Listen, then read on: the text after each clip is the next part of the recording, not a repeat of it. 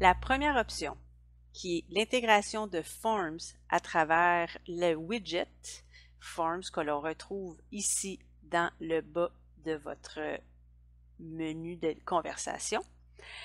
Euh, il faut pour ce faire ajouter Forms dans vos applications. Alors, si vous cliquez sur les trois petits points, vous pourrez faire rechercher une application et ensuite vous pourrez l'ajouter dans votre équipe.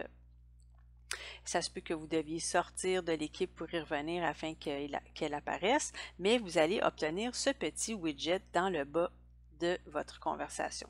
Ça vous permet de lancer euh, une question euh, en, direct pendant que les étudiants attendent.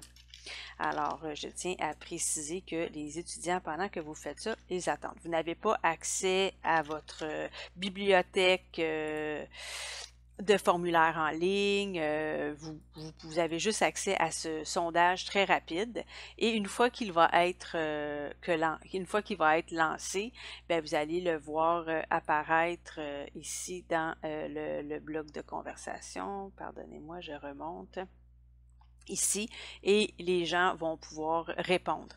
Je vais devoir quand même consulter les réponses euh, en ligne euh, dans, euh, dans Forms à ce moment-là pour voir les différentes réponses.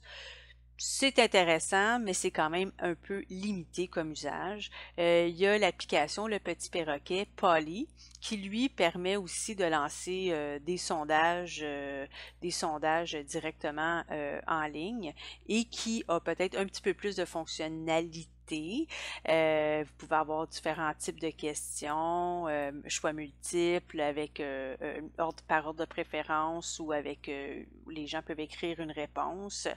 L'interface est par contre en anglais, mais vous pouvez quand même, vous pouvez quand même décider. avoir. vous avez beaucoup plus d'options ici et les résultats sont visibles directement pendant la, le partage de ce petit poly là. Même chose ici, vous, vous devez, pas le faire à l'avance, euh, longtemps d'avance. Euh, vous pouvez le préparer euh, le voir avant de le lancer, faire un preview et à ce moment-là, vous pourrez le lancer. Mais tout ça se fait en classe devant les étudiants. Alors ça, c'est la première option. Sur Form, si vous souhaitez consulter les réponses d'un quiz rapide, comme par exemple celui-ci qui a été lancé durant un atelier, on voit ici que c'est un formulaire sondage rapide et il est en lecture seule. On ne peut plus le modifier. Une fois qu'il a été lancé, on ne peut plus le modifier et on peut, on peut afficher les résultats dans Forms également et on peut euh, naviguer à travers les réponses euh, des répondants de cette façon-là à partir de l'application en ligne Forms.